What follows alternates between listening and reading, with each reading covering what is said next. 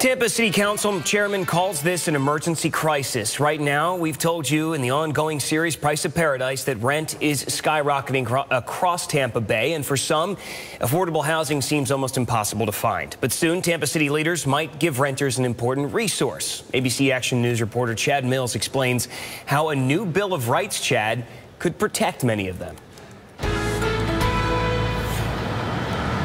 That's right, James. It's all about protecting those renters from discrimination and making sure they do know their rights and do know what resources are available to them. And it's a plan that could pass here at Tampa City Council within the next few weeks. Council Chair Orlando Gudes, who is pushing the plan, is calling it the Tenants' Bill of Rights. And if passed, it would be almost identical to a Renters' Bill of Rights passed by Hillsborough County back in March. It would require landlords to provide renters a list of their rights and helpful resources like info about assistance programs. It would also prohibit landlords from discriminating against renters based on the source of their income. For instance, if some of it comes from government assistance programs like Section 8 vouchers.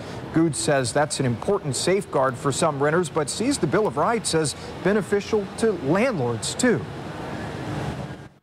for people in tenants to know the availability of, of resources, where to go, how to get them, I think it's valuable. But it's also valuable for the landlord as well because now it says, okay, I've got some guidelines that I must follow as well. Puts everyone on the same page. In other words, the chair of Hillsborough County Commission, by the way, voiced a couple concerns about the city's plan to make sure it works out as intended. So Gudes tells me those details are still being ironed out right now to make sure the city and the county are on the same page when it comes to their bills of rights. With all that said, though, he hopes the city will pass its plan when council returns to action in early January. Live in Tampa this morning, Chad Mills, ABC Action News.